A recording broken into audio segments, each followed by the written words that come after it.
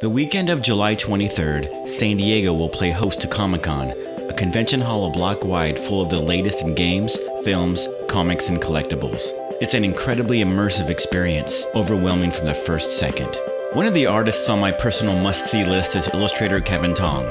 For those that didn't get to see the exhibit, Tong will be debuting his recent posters from his Mondo event Inforama, where his work hung alongside fellow illustrators Tom Whalen and Matt Taylor. Outside of Austin, this will be the first chance to see these posters in the flesh.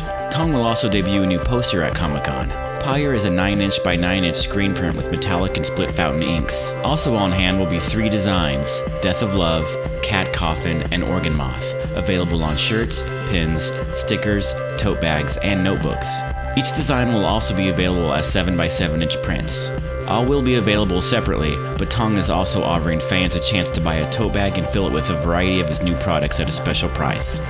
In past years, Tong has had a variety of rare and hard to find prints that are no longer in his store available at San Diego, and with his close relationship with the Mondo Gallery, there's always a chance of an unannounced poster release at their booth. All of Tong's latest works will be available at his booth, number 833, on Wednesday preview night.